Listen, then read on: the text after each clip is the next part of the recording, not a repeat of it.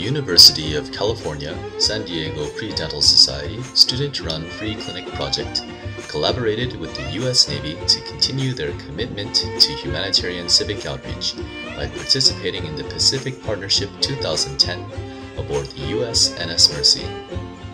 The mission of the Pacific Partnership was to provide care to those with lack of access to basic dental, medical, and other services, as well as to strengthen international relationships during its four month deployment.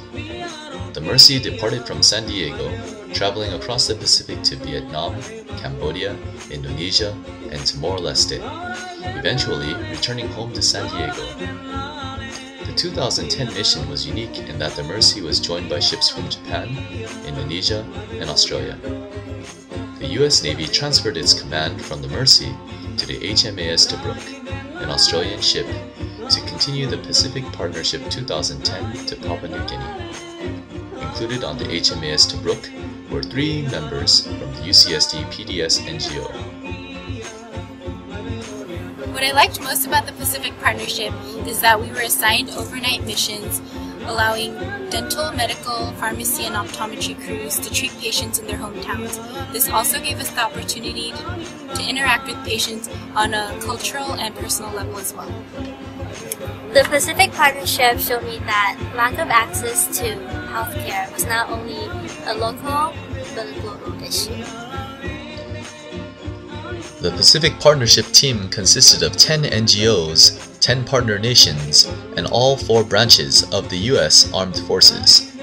The UC San Diego Pre-Dental Society NGO was the largest non-governmental organization aboard the Mercy, comprising of 133 civilian volunteers representing 35 universities, 21 states, and 3 countries.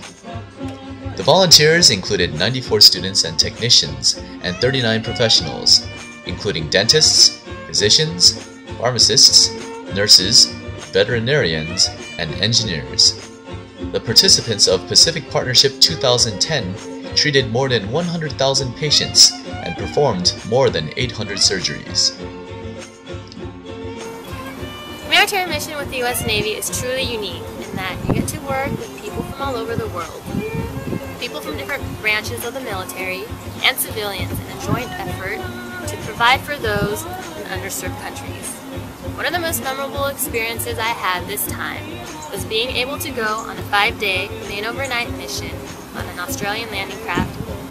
Whether it's providing help with medical services, engineering projects, or going out to the community and interacting with people, what we do creates bonds, strengthens relationships, and opens doors for other opportunities. What we do changes people's lives. My favorite part of the trip was spending time and forming relationships with amazing people from all over the world. There were dentists, enlisted officers, and volunteers, all united for one purpose to serve the people of Timor-Leste. The UC San Diego Pre-Dental Society NGO made a significant impact to other aspects of the mission. The participants contributed assistance to 22 engineering projects and 6 community service projects, which included building and repairing freshwater wells, schools, and hospitals. They also provided 11,000 hours of subject matter expert exchange and a commitment to improve public health education and cultural exchange.